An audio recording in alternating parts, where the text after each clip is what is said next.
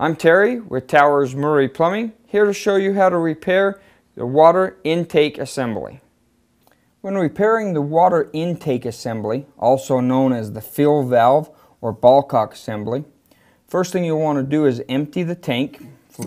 Simply turn the water off below, lift your handle up and hold it for a few seconds till the water drains. Now you may need to use a rag or a sponge to remove the rest of the water. You'll need a pair of pliers disconnect the water supply line, then the lock nut. Once you remove the lock nut, the assemb assembly itself simply pulls out. Take it down and match it up.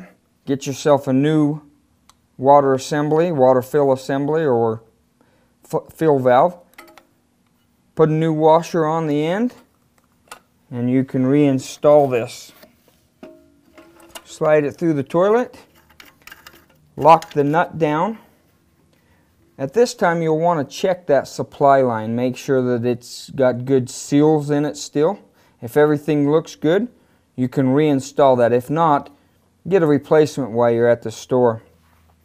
Now you can turn the water back on and check for any leaks. And again, I'm Terry with Towers Murray Plumbing, and we've just shown you how to repair the water intake assembly.